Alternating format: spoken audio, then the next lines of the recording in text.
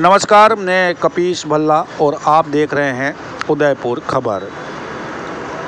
जयपुर महानिदेशक पुलिस उमेश मिश्रा ने पुलिसकर्मियों के आपस में अभद्रतापूर्ण व्यवहार के वायरल वीडियो के मामले में संज्ञान लेते हुए पुलिस उपाधीक्षक विवेक सिंह और पुलिस निरीक्षक शैलेंद्र सिंह को निलंबित कर दिया है।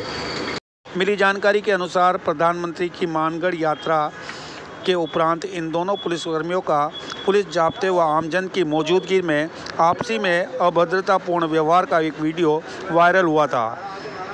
निलंबन काल में पुलिस उपाधीक्षक विवेक सिंह का मुख्यालय, पुलिस मुख्यालय में एवं पुलिस निरीक्षक शैलेंद्र सिंह का मुख्यालय पुलिस लाइन डूंगरपुर में रहेगा।